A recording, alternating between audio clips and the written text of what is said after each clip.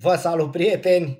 Vă mulțumesc celor care ați apăsat butonul alătură-te, ați devenit membri ai canalului, uh, celor care scrieți, celor care uh, ați devenit abonați și așa mai departe. Uh, am și o propunere acum ca să mai înfițăm un nivel la membrii canalului, nivelul Old Boys, că tot vine tot vine meciul ăsta de prezentare pentru inaugurarea stadionului Giulești, Rapid sau cum să o numi și vom vedea. Uh, ați văzut ce s-a întâmplat și la Survivor, este uh, un proverb e care se aplică și în fotbal, gura bate partea aia. Dosul, dosul, spunem dosul că sunt 17,6% doamne, domnișoare și femei și atunci trebuie să ne exprimăm mai așa, mai uh, academic, să nu le deranjăm. Mulțumesc doamnelor! Uh, și o să vorbim de fotbal azi, pentru că Survivor a tot fost în ultimul timp și știu că mulți dintre voi sunteți microbiști. Vă aștept sâmbătă la inaugurarea stadionului, da, voi fi prezent, da, voi juca, uh, atât cât îmi va permite uh, starea de sănătate. Dar voi fi acolo, voi fi pe gazon, voi fi uh, în, uh, în mijlocul evenimentelor și este o mare mândrie după Survivor, o experiență formidabilă. De neuitat, că vine și inaugurarea Rapidului, uh, după inaugurare va veni și ziua mea, deci e un început de an așa, cu toate că mi se pare că a început anul ăsta de mult, e de-abia martie, va fi un început de an așa, un prim trimestru, forță cu amintiri de neuitat, Doamne ajută să continue bine anul. Uh, vă spuneam de fotbal, da, despre fotbal vom vorbi cu uh, gura bate dosu. Și uh, o să vă povestesc, nu o să, n-o să vă spun acum despre echipa care vorbesc și vă voi povesti pentru că sunt oameni care încă activează, sunt oameni care unii dintre ei sunt importanți sau să cred importanți și uh, n-are rost să intrăm așa într-o polemică. Vă spun că și în viața de zi cu zi, cât și în fotbal, se potrivește proverbul ăsta și o să vă spun exact pentru că am lucrat, am, am lucrat, da, am lucrat practic, am avut contract la o echipă unde uh, antrenorul uh, cam pleca urechea așa la ceea ce, ce îi se spunea, ceea ce se întâmpla în vestiar. Am dreptate, Doamne ajută. Mulțumesc. Și de multe ori lotul sau primul 11 uh, se făcea și ținând cont de unii care mai băgau limba în ureche, de unii care dacă nu puteau să joace pe valoare, jucau pe sifoneală și se întâmpla. Și vă dau un exemplu concret. Începem ciclu săptămânal de antrenamente, da? de pregătirea unui joc. De luni, meciul era sâmbătă, dacă nu mă înșel, sau duminică. Și simți ca jucător simți în momentul când, bă, ești acolo, ești în oia care vor începe meciul. Și am simțit asta luni, au mers lucrurile bine marți, miercuri, joi, intrăm în cantonament, cred că sâmbătă era meciul, că nu știu, cu două zile înainte intram în cantonament și uh, vineri sau sâmbătă, repet, dar e mai puțin important, uh, cu o zi înainte de meci, ca să nu vă mai dau pe zile așa, uh, lucram și fazele fixe. Fazele fixe ce însemna? Uh, auturi în atac, le lucram pe alea în atac, în apărare te ghidai în funcție de adversar. Auturi, lovituri libere laterale, cornere, lovituri libere din zonă centrală și așa mai departe. Și astea normal că fiind și cozi înainte de joc, nu mai și ca antrenor, nu mai uh, lași așa niciun semn de întrebare, nu mai, uh, nu mai te gândești la suspans și la concentrare și le lucrezi cu primii 11, de fapt cu primii 10 și portarul titular în poartă ca să, să vorbească, să dirigeze, să și mai faci câteva spre final în apărare, dar în apărare ce înseamnă? Cum să-și așeze la zidul, dacă e lovitură directă din zona centrală, cum pune doi în later, la loviturile later, din zonă laterală în zid, cine stă la bara de la scurt, cine stă la 9 metri la cornere, cine intră în marcaj, niște lucruri care le, le mai reglezi și înainte de meci le ai și pe, pe, pe tabă, pe planșe, pe, așa când se dă și marcajul în apărare la, la cornere sau la loviturile libere din, din lateral. Și cu înainte de meci de regulă și mai pe la toate echipele, E un antrenament mai ușor, care durează o oră, o 70 de minute, ceva de genul ăsta, ușor. Cu intensitate scăzută, un, o încălzire scurtă, niște jocuri, handbal gol cu capul, dintr-o atingere, din două atingeri, din liber, cu piciorul stâng, cu piciorul drept, niște jocuri așa mai de, de tonus, totul e pe, totul e pe timp scurt, de execuție și rapid. Pa, pa, pa, pa, pa, pa, pauză. Iar la final, când se termină toate astea, ceea ce v-am spus. Și uh, facem uh, facem uh, jocurile astea, terminăm și zice antrenorul scoate hârtia și zice X, Y, uh, veniți cu mine. E, eu nu mai eram la veniți cu mine, ce ceilalți luați maieuri verzi și vă poziționați în apărare. Și îți dai seama că te apucă spumele alea mari, mai ales că văzusem, simțisem toate antrenamentele săptămânale, că eram acolo, în aia 11. Și la un moment dat, câteodată mai zicea, ă, bă, dă tu mai jos, ia de la ălălalt și treci la ceilalți. Bă, nu s-a întâmplat nici asta. Nu mai țin minte dacă s-au întâmplat cu alții, dar uh, cu mine nu.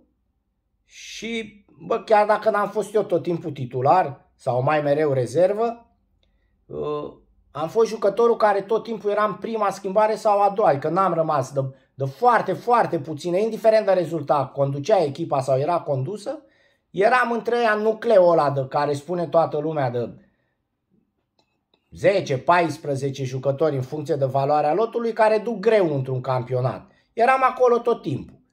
Și îți dai seama, m-au apucat spumele, nervii, s-a terminat antrenamentul și m-am dus la duș după antrenament, la, cum eram în cantonament la masă, um, și zic antrenorului secund la masă, știi? Eu zic, băi, zic, vorbește cu antrenorul principal că vreau să vorbesc și eu cu el. Bă, dar ce s-a întâmplat? Ce zic, nu s-a întâmplat nimic, vreau să am o discuție cu el. Zice, ok, zice, hai că-i zic și te anunț. Zic, ok, mersi frumos. M-am dus în cameră, la odihnă, dormeam, aveam boala, boala porcului care o am și acum. Asta am rămas cu ea, o moștenesc de când eram sportiv după ce mănânc la prânz trebuie să mă odihnez.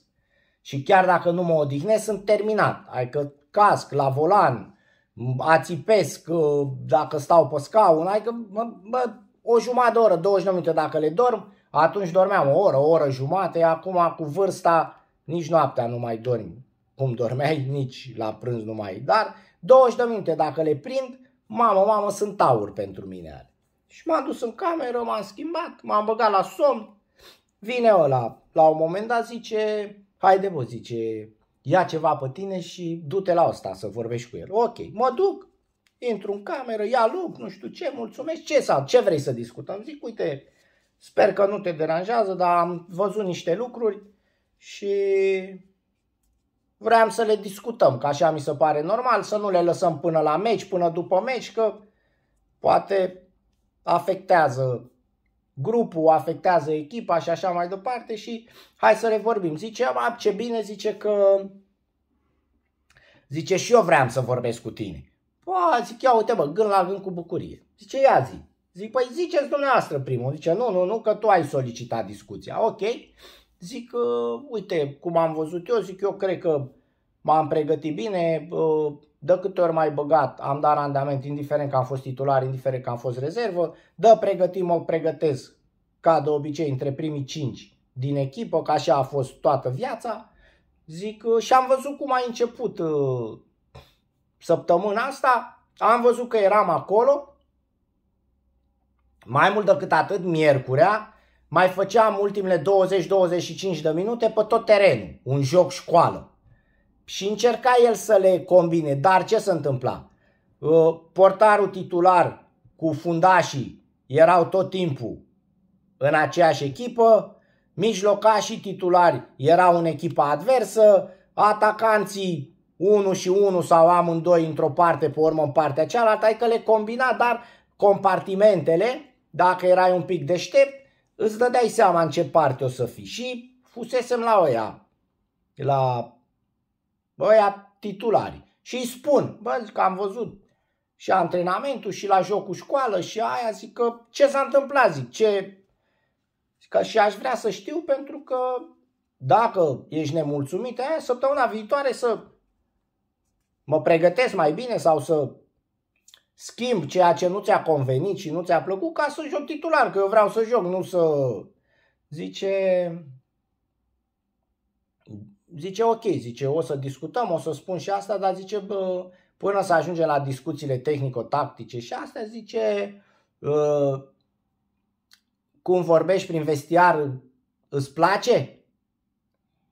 Și eu n-am fost niciodată ăla să bârfesc antrenorul, că mai sunt și de ăștia, de regulă ăștia care sunt uh, bingănitori, sunt sifoane, ăștia sunt, uh, sunt deghizați sunt deghizați. Sunt uh, un fel de rengle ca să, să, să aveți cu ce să-i comparați. Hai că în vestiar sunt nemulțumiți, Bă, Gamiaș, ce antrenamente de rahat, bă, iar ne aleargă ăsta. Mamă, ce slab, e ăsta cel mai slab antrenor cu care am lucrat. Mamă, o trompetă. Și care halesc momeala, apropo, am fost uh, am fost la un magazin de ăsta de articole de pescuit și mi-am comandat niște forfaturi pentru, pentru crap că începe sezonul. Și mai sunt care o hale și ce, bă, mă, dar e slab rău, dă-l să-mi bag, bă, gana și mai ales aia care nu joacă. Ăia dintre titulari să mai abțin că ăia au interes să se abțină că joacă, că sunt titulari. Ei, eu niciodată n-am uh, avut astea. Poate de câteva ori când am fost foarte, foarte nervos și am zis-o în gura mare în vestiar, nu așa în discuția cu unul sau cu altul, cum s-a întâmplat la un moment dat și cu Rednic, după ce am ratat singurul penalti din, din toată cariera, la un meci cu Astra Ploiești pe Giulești, și mi-a zis el, bă, că o să pleci de aici și am stai, bă, liniștit că o să pleci tu înaintea mea. Și am avut gura aurită, așa s-a întâmplat. Dar în rest n-aveam de astea să mă bag într-o cameră cu încă 3-4, să-l bârfim pe ăla, să nu, frate. Eu când aveam de mă apucau pandaliile, mă duceam și ziceam direct pe față lui sau ziceam la antrenorul secund, bă, vorbește cu ăsta, că vreau să vorbesc cu el. Și dacă vrea să vorbească bine, dacă nu, îi ziceam la antrenor, antrenorului secund.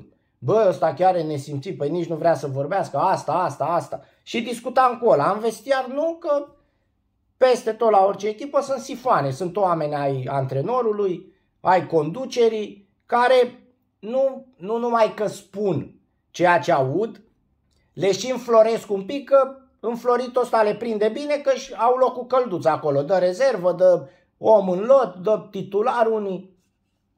Și îl întreb, ăsta zic, dar ce am vorbit în vestia? A, bă, bă, Roberte, a, mă, ce naiba, tu crezi că eu n-aud și a... Păi zic, spuneți-mi ce și le discutăm acum, dacă tot uh, tot ați deschis discuția dumneavoastră, zic eu, dacă vroiam să zic numai în, în vestiar sau ziceam în vestiar, nu mai veneam să discut cu dumneavoastră. Mai ales ce motiv aș fi avut să vorbesc urât de dumneavoastră în vestiar, când eu încă de luni am simțit că o să joc. Și am văzut cum decur lucrurile și mai erau antrenori care dacă de luni începea să stea cu gura pe tine, bă, unde te demarși, bă, bagă bă în poartă, ce faci, bă, concentrează-te, haide bă, alergi și tu, bă, fă pressing, ce faci, ai întârziat pressing. Ăștia îi citeai tot așa de luni și ziceai, bă, gata, dacă a început ăsta cu gura pe mine de luni, își pregătește terenul să nu mă bage sâmbătă. Repet, dacă îți dădeai seama de lucruri. Alții, ce ziceau? Bă, că e mai ziceai la câte unul, după două, trei, patru antrenamente, când vedeai că te tot toacă, te duceai la el și zicea, bă, vreau să zic și eu ceva. Da, ce? Bă, nene, mai ceartă și pe altul, te-ai pus cu gura pe mine? Bă, mai lasă-mă, că mai disperat. Și zicea, bă, uh, fii atent, toată viața ta, toată cariera ta să știi de la mine, bă, când te ceartă un antrenor, e bine. Și ziceam, cum să fie mă bine că mă cer de față cu toți ăia și țip numai la mine? Bă, înseamnă că vreau mai mult de la tine, că mă bazez pe tine, că știu că poți, că poți mai mult, că să ne mulțumit, dă mai mult, da, stau cu gura pe tine, să te motivezi, că vine un meci important, că... Mai erau și de ăștia. Și zic lui ăsta, bă, zic că nu aveam niciun motiv să te vorbesc de rău săptămâna asta, pentru că am văzut de nu sunt dobitoc, că nu sunt frumos, știu. Că deștept, nu prea și asta știu, dar nu cel mai prost. Și zic, n-aveam motiv, de, e, e logic că n-aveam motiv. Zice, ok, dar uite ce am auzit. Și zic, da, spuneți-mi, bă, uite ce am auzit. Zic, ok, nu o să vă întreb niciodată de la cine, că sigur nu o să-mi spuneți că suntem un grup și așa, dar spuneți-mi ce, ce ați auzit, ce bă, bă, bă Robert, uite care-i treaba, ce... Un semn de întrebare am avut, dar uh, mi-am dat seama în următorul antrenament că poate a avut dreptate cine mi-a zis. Și zic, care semn de întrebare? Păi zice că te plângi, că te plângi de antrenamente, că sunt prea tari, că durează mult, că sunt făcute fără cap, că facem în prostie, așa, fără niciun plan, fără... În schimb, semnul de întrebare a fost că tu totdeauna te pregătești bine și nu comentezi în timpul antrenamentelor, cum se întâmplă cu alții. Și nu văd de ce ai comentat după antrenament. Dar ce m-a făcut să nu mă mai gândesc să-i dau dreptate lui ăla care mi-a zis, a fost că marți sau miercuri, nu mai știu, ai zis uh, la un antrenament la partea fizică, bă, lui ăsta i-o fi stat ceasul, uh, bă, mai durează mult, ne-a uitat pe teren, ce facem, face experimente pe noi. Și ăsta zice a fost momentul când, gândindu-mă în primă fază că tu te pregătești bine, că n-am ce să-ți reproșez, că nu comentezi niciodată, poate e informația exagerată sau greșită, dar când ai venit cu reacția aia că am auzit-o, n-am zis nimic, m-am făcut că n-aud, dar am auzit-o, m-am gândit că, bă, uite, dacă ăsta zice acum că mi-a stat ceasul, că, bă, nene, ce face ăsta? Face experiențe pe noi, ne rupe cu pregătirea fizică, m-am gândit că ăla are dreptate și atunci eu nu o să bag niciodată în, în primul 11 un jucător nemulțumit. Și mai mult decât atât, un jucător care face și atmosferă proastă în vestiar sau... Păi care e atmosfera proastă? În vestiar sau uh, la antrenament? Și zic, dar care e atmosfera proastă? Păi atmosfera proastă e că ai vorbit mult în vestiar la adresa mea. Uh, e atmosfera proastă că ai zis uh, ce ai zis în vesti- uh, pe teren și sunt unii care se, se iau după tine și după, tu ce ai, după ce ai terminat tu de zis au mai zis 3-4 pentru că se întâmpla uh, și s-a întâmplat toată viața, chiar dacă nu, nu eram titular indiscutabil, chiar dacă o voce în vestiar am fost tot timpul. Și o voce respectată și ascultată de ceilalți colegi. Uh, și atunci, uh, de-aia și probabil și a, asta făcut paralela cu Survivor, am fost singurul în unanimitate acceptat ca antrenor să dau sfaturi tuturor și mi-au mulțumit pe rând sau în grup toți, toți concurenții de acolo, inclusiv Panorama.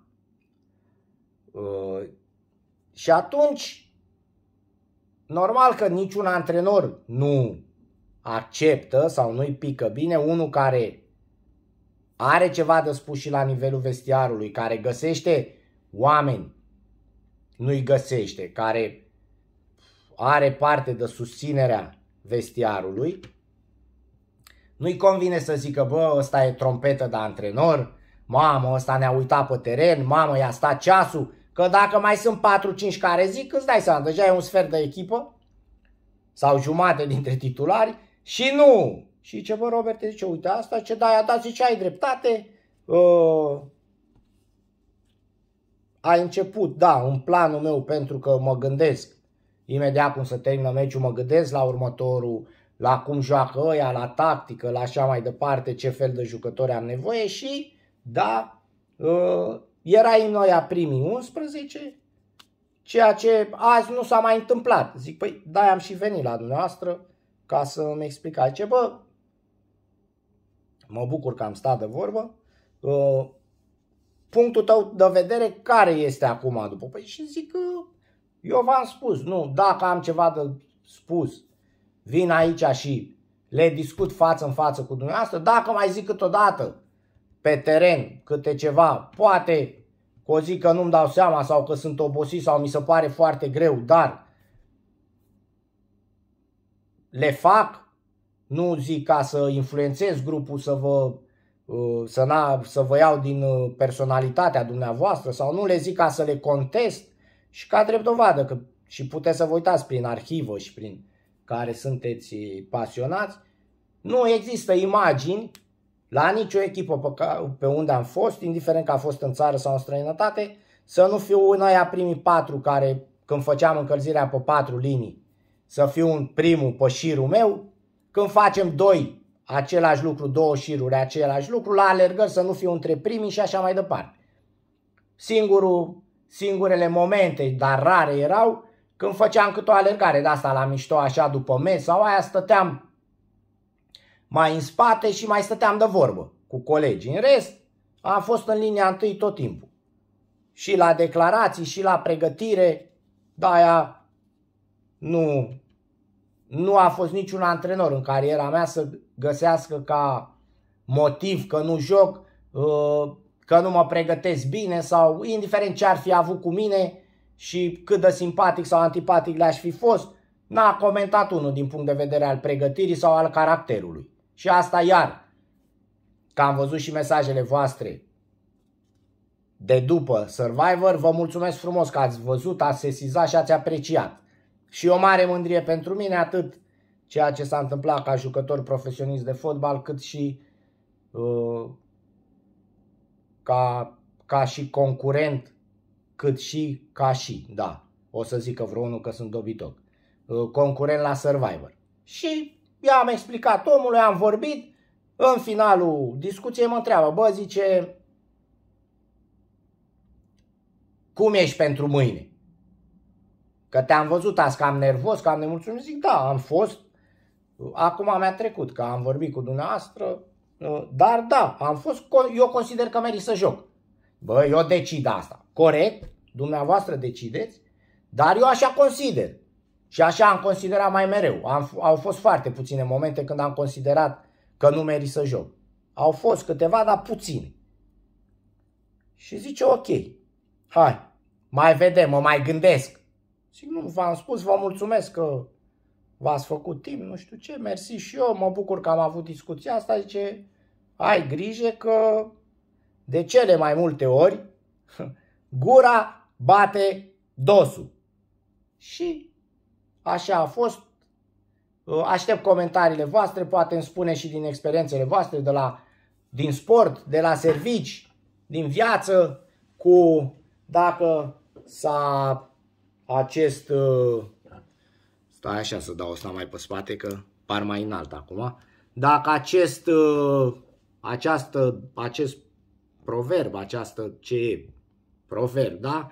Vi s-a, vi s-a aplicat și vouă. Aștept să dați click pe butonul alătură-te, să vă abonați la abonare, o distribuire, un like dacă vă place ce auziți, că fața n-are cum să vă placă uh, și cam atât. Mă vedeți și pe Instagram și pe Facebook.